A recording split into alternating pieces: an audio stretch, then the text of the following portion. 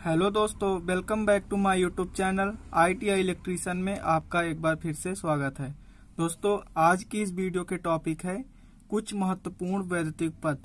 तो आज हम इनके बारे में जानेंगे, जो कुछ इस तरह से हैं। विद्युत वाहक बल, विभव, विभवांतर, टर्मिनल वोल्टेज वोल्टेज ड्रॉप, वैद्युतिक कार और वैद्युतिक शक्ति। दोस्तों, वीडियो शुरू करने से पहले यदि आप चैनल में नए हैं तो सब्सक्राइब कर लीजिए और बेल आइकन को ज़रूर प्रेस करिए। तो चलिए शुरू करते हैं। हमारा पहला टॉपिक है विद्युत वाहक बल।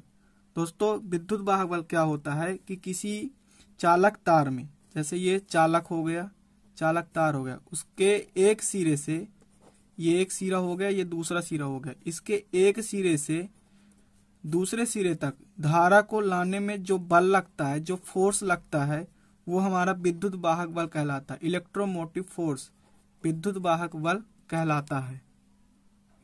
इलेक्ट्रोमोटिव फोर्स कहलाता है, इसको ई से प्रदर्शित करते हैं। दोस्तों, इसको ई से प्रदर्शित करते हैं। ई से प्रदर्शित करते हैं और इसका जो मात्रक है, वो बोल्ट हो जाता है। इसका मात्रक बोल्ट हो जाता है, जिसे हम भी से प्रदर्शित करते हैं। तो हमारा दूसरा है विभव।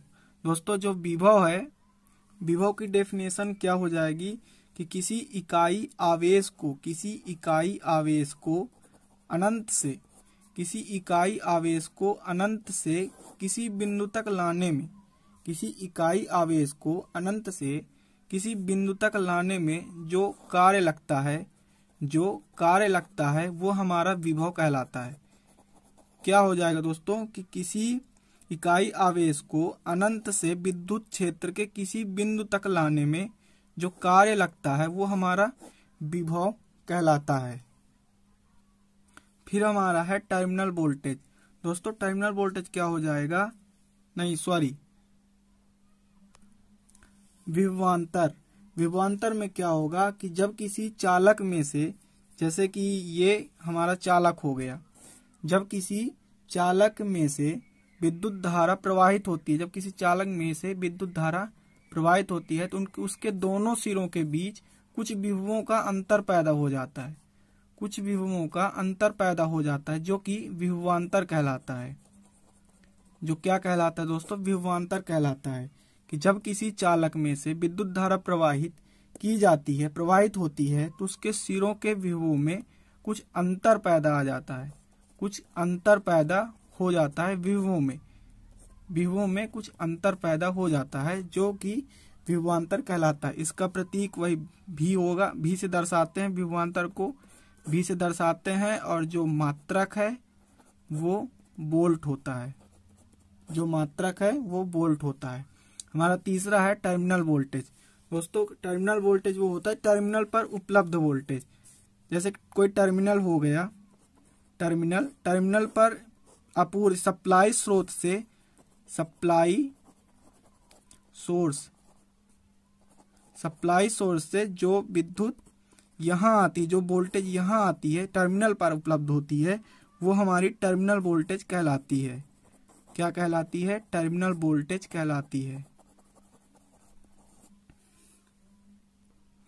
हमारा अगला है टर्मिनल वोल्टेज। तो दोस्तों, टर्मिनल वोल्टेज क्या होता है कि किसी परिपथ में किसी परिपथ में, जैसे ये परिपथ हो गया, किसी किसी परिपथ में, जैसे चालक हो गया, किसी परिपथ के चालक में जो वोल्टेज का व्यय होता है, क्या होता है दोस्तों? जो वोल्टेज की खपत होती है, व्यय होती है लॉस होती है, जो वोल्टेज की लॉस होती है, वो हमारा वोल्टेज ड्राफ्ट कहलाता है।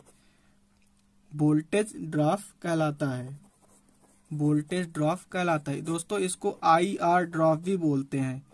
इसको आई आर ड्रॉप भी बोलते हैं। तो हमारा अगला है वैद्युतिक कार्य। इसमें क्या होता है कि किसी विद्युत परिपथ में विद्युत वाहक बल द्वारा, किसी विद्युत परिपथ में विद्युत वाहक बल द्वारा, जैसे एक बिंदु हो गया, दूसरा बिंदु हो गया, विद्युत वाहक बल द्वारा, विद्युत वाहक बल क्या है? एक फोर्स है, एक ताकत है जो कि धारा को प्रवाहित करती है।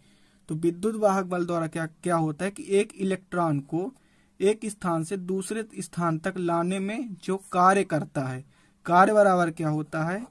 कार्य बराबर होता है बल गुड़े विस्थापन। कार्य बराबर होता है बल गुड़े विस्थापन। इलेक्ट्रॉन को एक स्थान से दूसरे स्थान तक लाने में जो कार्य लगता है, जो विद्युत विद्युत वाली इलेक्ट्रॉन को यहाँ तक लाने में जो कार्य करता है, वो हमारा वैद्युतिक कार्य वैद्युतिक कार्य कहलाता है। दोस्तों, हमारा अगला है वैद्युतिक शक्ति। वैद्युतिक शक्ति, इसमें क्या होता है कि किसी वैद्युतिक उपकरण की कार्य करने की जो दर होती किसी वैद्युतिक उपकरण की कार्य करने की जो दर होती है, शक्ति को मतलब पावर, इसको हम पी से दर्शाते हैं, कार्य करने की जो दर होती है, उसको हम वैद्युतिक शक्ति बोलते हैं। तो इसका हम, इसके कुछ फार्मूले भी आते हैं जो कुछ इस तरह से हैं, जैसे कि दोस्तों, क्या होता है इसमें कि जो विभव होता है, विभव बराबर क्या होता है? कार्य बटा आवेश। तो हमको कार्य का मान चाहिए तो कार्य बराबर हो जाएगा विभव गुड़े आवेश। और आवेश बराबर क्या होता है? धारा गुड़े समय। तो कार्य बराबर क्या हो जाएगा? विभव गुड़े आई गुड़े वो, बोल, भी गुड़े आई गुड़े टी।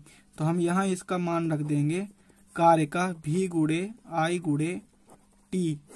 बाय टी टी से टी कैंसिल पी बराबर भी आई दोस्तों, इसका एक और फार्मूला होता है, जो होता है भी भी बराबर क्या होता है? आर आई तो आई बराबर क्या हो जाएगा? भी अपान आर तो इसका एक न्यू फार्मूला आ जाएगा भी बराबर पी बराबर भी स्क्वायर अपान आर ये इसका दूसरा फार्मूला हो जाएगा।